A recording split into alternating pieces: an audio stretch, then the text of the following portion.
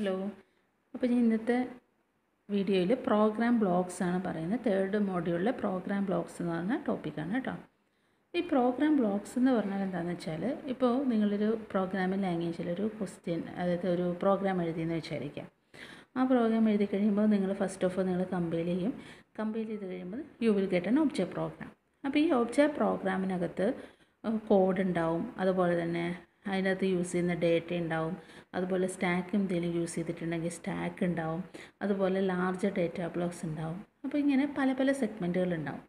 അപ്പോൾ ഈ സെഗ്മെന്റുകളെയൊക്കെ കൂടെ ഗ്രൂപ്പ് ചെയ്യാൻ വേണ്ടിയിട്ട് അലോ ചെയ്യുന്നൊരു ഫീച്ചറാണ് പ്രോഗ്രാം ബ്ലോക്സ് ഓക്കെ അപ്പോൾ program blocks allow the generated machine instructions and data to appear in the object program in a different order okay അപ്പോൾ അതിനെയാണ് പ്രോഗ്രാം ബ്ലോക്സ് എന്ന് പറയാം. അപ്പോൾ ഈ പ്രോഗ്രാം ബ്ലോക്ക് ഇംപ്ലിമെന്റ് ചെയ്യാൻ വേണ്ടിയിട്ട് അസം യൂസ് ചെയ്യുന്ന അസംബ്ലി ഡയറക്റ്റീവാണ് യൂസ് ഓക്കെ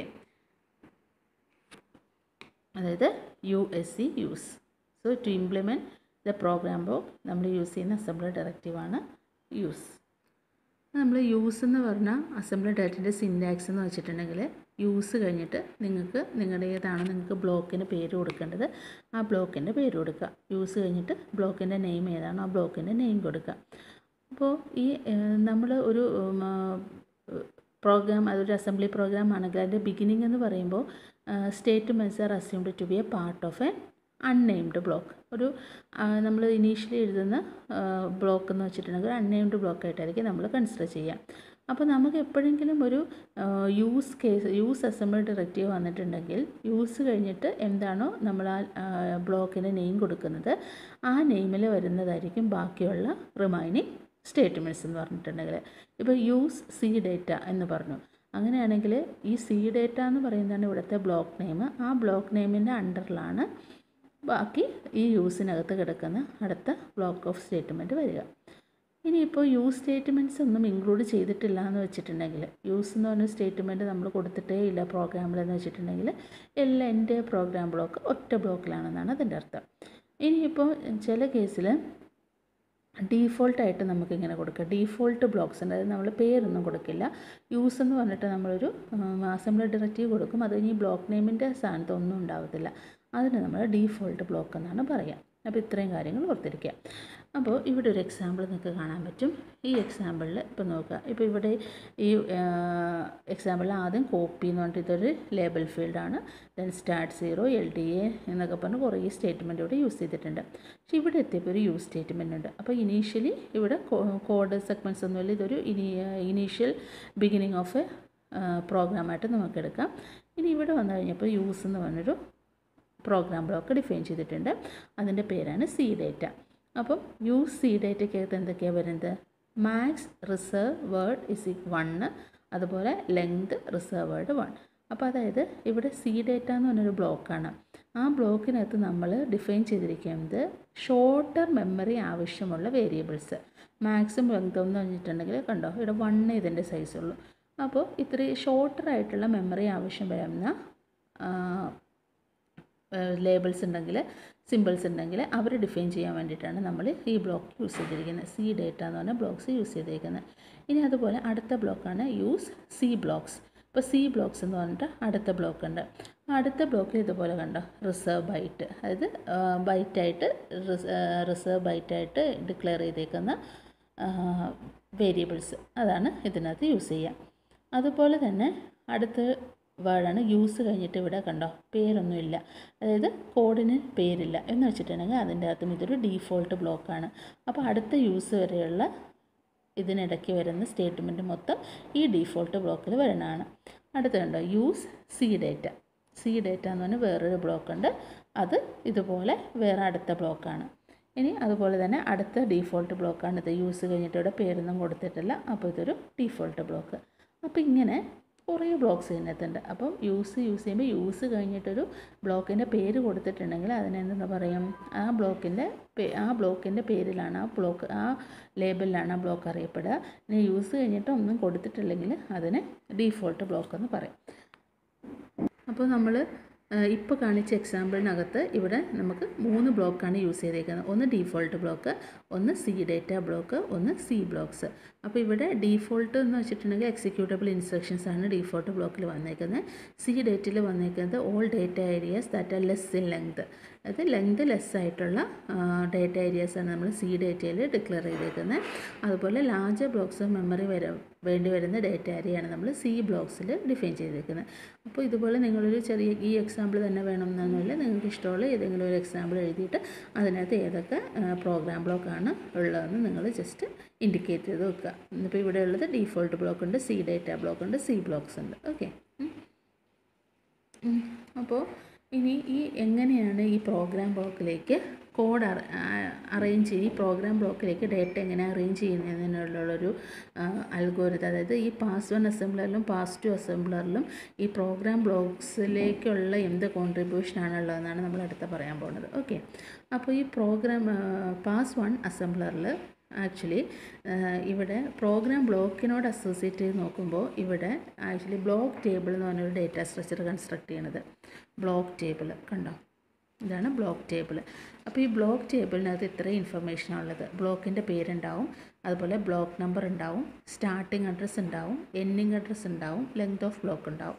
അപ്പോൾ ഇവിടെ ഞാൻ എടുത്തേക്കുന്നത് ഈ മൂന്ന് ബ്ലോക്കായിട്ടാണ് എടുത്തേക്കുന്നത്. ഒന്ന് ഡീഫോൾട്ട് ബ്ലോക്ക് ഒന്ന് സി ഡേറ്റ ഒന്ന് സി ബ്ലോക്ക്സ് ഇത്രയാണ് എന്റെ ബ്ലോക്കിന്റെ നെയിം അതിന്റെ ബ്ലോക്കിന്റെ നമ്പറാണിത് ഫസ്റ്റ് ബ്ലോക്ക് ഡിഫോൾട്ട് ബ്ലോക്കായിട്ട് എടുത്തേക്കുന്നത് zero C data first first block number C ബ്ലോക്സിന് number two അതുപോലെ ഇതിന്റെ സ്റ്റാർട്ടിങ് അഡ്രസ്സാണ് ഇവിടെ തന്നിരിക്കുന്നത്. ഈ ബ്ലോക്കിന്റെ ഡീഫോൾട്ടിന്റെ സ്റ്റാർട്ടിങ് അഡ്രസ്സ് ഡീഫോൾട്ടിന്റെ എൻഡിങ് അഡ്രസ്സ് സി ഡേറ്റയുടെ സ്റ്റാർട്ടിങ് അഡ്രസ്സ് എൻഡിങ് അഡ്രസ്സ് അതുപോലെ ലെങ്ത് ഓഫ് ബ്ലോക്കാണ് ഈ തന്നേക്കുന്നത് ടോട്ടൽ ലെങ്ത് ബൈറ്റ്സിൽ എത്ര ലെങ്ത് ഉണ്ടെന്നാണ് ഇവിടെ തന്നിരിക്കുന്നത്. അപ്പോൾ പാസ് വണ്ണിൽ ആക്ച്വലി ചെയ്യുന്നത് എന്താണെന്ന് വെച്ചിട്ടുണ്ടെങ്കിൽ ഇതുപോലൊരു ബ്ലോക്ക് ടേബിൾ കൺസ്ട്രക്ട് ചെയ്യുക എന്നുള്ളതാണ് പാസ് അസംബ്ലർ ചെയ്യുക. അസംബ്ലർ പാസ് വണ്ണിൽ ചെയ്യാം. അപ്പോൾ ഓരോ ലേബ് ഈ പ്രോഗ്രാം ബ്ലോക്സിന്റെ ലേബൽ ഏതാണെന്ന് കണ്ടുപിടിക്കും. ലേബൽ ഏതാണെന്ന് കണ്ടുപിടിച്ചിട്ട് ലൊക്കേഷൻ കൗണ്ടറിൽ നിന്ന് നമുക്ക് അതിന്റെ സ്റ്റാർട്ടിംഗ് അഡ്രസ്സ് കിട്ടും. അതുപോലെ എൻഡിങ് അഡ്രസ്സ് വരുമ്പോൾ എൻഡിങ് അഡ്രസ്സ് എൻകൗണ്ടർ ചെയ്യുക ലെങ്ത് ഓഫ് ബ്ലോക്സ് കണ്ടുപിടിക്കാം. ഇനി pass two അസംബ്ലറിൽ what we are doing is assembler assembler pass ടൂവിൽ എന്താ ചെയ്യണമെന്ന് വെച്ചിട്ടുണ്ടെങ്കിൽ ഈ ഓരോ സിംബ അതായത് ഇപ്പോൾ ഇതിനകത്ത് ലൊക്കേഷൻ ഉണ്ട്. അതായത് related to start of block അതായത് ഇപ്പോൾ എന്താ പറയുക ഇപ്പോൾ സി ബ്ലോക്ക് എന്ന് പറഞ്ഞ ഇവിടെ ഒരു ബ്ലോക്ക് ഉണ്ട്. ഈ ബ്ലോക്കിനകത്ത് കുറേ സിമ്പിൾസ് നമ്മൾ ഡിഫൈൻ ചെയ്തിട്ടുണ്ട്. അതുപോലെ സി ഡേറ്റയ്ക്കകത്തും കുറേ സിമ്പിൾസ് ഡിഫൈൻ ചെയ്തിട്ടുണ്ട്. ഇപ്പോൾ സി ഡേറ്റയിൽ ഞാൻ പറഞ്ഞല്ലോ റിസർവ് വേർഡ് വൺ എന്ന് പറഞ്ഞിട്ട് മാക്സ് എന്ന് പറഞ്ഞിട്ടൊരു ലേബലാണ് കൊടുക്കുന്നതെന്ന് വിചാരിക്കുക. അപ്പോൾ ആ ലേബിൾസിനോട് അസോസിയേറ്റ് ചെയ്തിട്ട് ആ സിമ്പിൾ ടേബിളിലേക്ക് ആ ലേബിൾസ് ഇൻസേർട്ട് ചെയ്യുക. അതിനൊരു വാല്യൂ ആ ലൊക്കേഷൻ ഏതാണെന്നുള്ളത് സ്റ്റാ ഈ റിലേറ്റീവ് ടു ദിസ് ബ്ലോക്ക് അതിന്റെ ലൊക്കേഷൻ എത്രയാണെന്നുള്ളത് എന്റർ ചെയ്യുക എന്നുള്ളതാണ് പാസ് ടൂവിൽ ചെയ്യുക. അതായത് location of the simple relative to the starting of the block അതുപോലെ starting address of this block അപ്പോൾ ഇത്രയും കാര്യങ്ങൾ എന്തിലേക്ക് ആഡ് ചെയ്യും? ഒബ്ജക്റ്റ് പ്രോഗ്രാമിലേക്ക് സ്റ്റാർട്ട് ഓഫ് ദ ഒബ്ജക്റ്റ് പ്രോഗ്രാമിലേക്ക് അതായത് ഒരു അഡ്രസ് കാൽക്കുലേഷൻ ഇവിടെ നടത്തും. പാസ് ടു അസംബ്ലർ ഒരു അഡ്രസ് കാൽക്കുലേഷൻ നടത്തും. ഈ അഡ്രസ് കാൽക്കുലേഷൻ എന്ന് വെച്ചിട്ടുണ്ടെങ്കിൽ relative to the program blocks എത്രയാണ്? അഡ്രസ്സ് എന്നുള്ളത് എത്രയാണ്? വാല്യൂ എത്രയാണ് സ്റ്റാ ലൊക്കേ ഏതാണ്? സിമ്പിൾസിന്റെ ലൊക്കേഷൻ എന്നുള്ളത് കണ്ടുപിടിച്ച് വെക്കും. ആക്ച്വലി ഇത് എന്തിനാണ് വെക്കണമെന്ന് വെച്ചിട്ടുണ്ടല്ലോ ഇപ്പോൾ നമ്മൾ പറഞ്ഞു പ്രോഗ്രാം ബ്ലോക്സ് എന്ന് വെച്ചിട്ടുണ്ടെങ്കിൽ ആക്ച്വലി അറേഞ്ച് ചെയ്യാൻ വേണ്ടിയിട്ട് നമുക്ക് ഇഷ്ടമുള്ള രീതിയിൽ പ്രോഗ്രാം ബ്ലോക്സിനെ അറേഞ്ച് ചെയ്യാനുള്ള ഒരു മെക്കാനിസം എന്ന് പറഞ്ഞു. അപ്പോൾ അങ്ങനെ അറേഞ്ച് ചെയ്യുന്ന സമയത്ത് ഓൾറെഡി ഇപ്പോൾ ജനറേറ്റ് ചെയ്ത ഒബ്ജക്റ്റ് പ്രോഗ്രാമിൽ ആ സിമ്പിൾ എവിടെയാണോ ഇരിക്കുന്നത്? അവിടെ ആയിരിക്കണം എന്നില്ല നമ്മൾ റീജനറേറ്റ് ചെയ്യുമ്പോൾ ഇരിക്കുന്നത്. അപ്പോൾ നമ്മുടെ ബ്ലോക്സിന്റെ അസോസിയേറ്റ് ചെയ്തിട്ട് നമ്മൾ ഡിഫൈൻ ചെയ്തിരിക്കുന്ന പ്രോഗ്രാം ബ്ലോക്കിന് റിലേറ്റീവായിട്ട് ആ സിമ്പിളിന്റെ അഡ്രസ്സ് എത്രയാണ് നമ്മൾ കണ്ടുപിടിക്കണം. അപ്പോൾ അതിന് വേണ്ടിയിട്ടാണ് ഈ കാൽക്കുലേഷൻ നടത്തുക ഓക്കെ അപ്പോൾ ഇനി നമ്മുടെ അടുത്ത ഉദ്ദേശം എന്ന് വെച്ചിട്ടുണ്ടെങ്കിൽ എന്താ? ഇതിനെ മെമ്മറിയിലേക്ക് ലോഡ് ചെയ്യുക അല്ലേ? അപ്പോൾ ഈ പ്രോഗ്രാം ബ്ലോക്സിനെ എങ്ങനെയാണ് മെമ്മറിയിലേക്ക് ലോഡ് ചെയ്യുക എന്നുള്ളതാണ് അടുത്തായിട്ട് നമ്മൾ പറയുന്നത്. അപ്പോൾ നിങ്ങൾ ഈ സിമ്പിൾ നോക്ക് സോറി ഈ ഡയഗ്രാം നോക്കുക കേട്ടോ.